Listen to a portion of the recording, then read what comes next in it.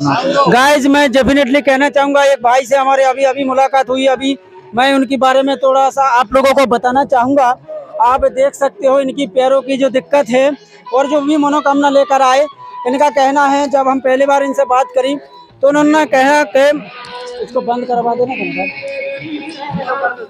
कि चार लाख रुपए लगाने की बात, चार लाख रुपए डॉक्टर को देने के बाद भी इनको कोई ही आराम नहीं लगा। किसी सर्प ने इनको काटा है कि क्या हुआ? कोई आप देख सकते हो मैं कैमरामैन से कहूँगा कि इनको जो दिक्कत है पैरों में थोड़ा सा दिखा है। भाई आप अ, कितने लाख रुपए लगाए आपने? चार लाख। चार लाख रुपए लगाए। थोड़ा सा कैमरामैन से कहूँगा थोड़ा सा पीछे जाए। बाबा जी ये लोग आ जाए। इस साइड इस साइड। तो आपने चार लाख रुपए लगाया। हम्म। चार लाख रुपए लगा के बावजूद भी आराम नहीं लगा। तो यहाँ आने से पहले आपकी पैरों में दर्द थी। देखो गाइस मैं ज़रूर कहना चाहूँगा यहाँ पर आने के से पहले इनकी पैरों में बहुत सारा दर्द था जलन पड़ रहा था। अभी ये भाई साहब बोल रहा है कि यहाँ आने के बाद कोई पैरों में दर्द नहीं है।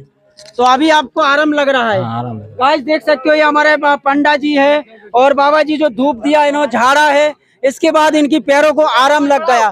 तो डेफिनेटली आप लोग बता सकते हो और आप देख सकते हो ये दिव्य दरबार है तो आप यहाँ आ सकते हो। तो ये यहाँ पर आने के बाद आपकी मनोकामना पूरा होता है।